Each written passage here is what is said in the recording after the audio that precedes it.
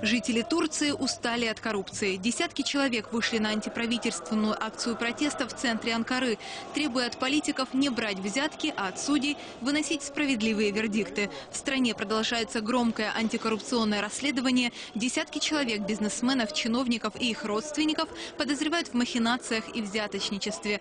Люди требуют довести это дело до конца и наказать виновных.